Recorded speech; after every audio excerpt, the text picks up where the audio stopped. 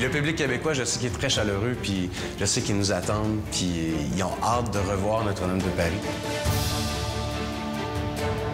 Aïe, aïe, aïe, aïe. C'est une émo- émotion particulière.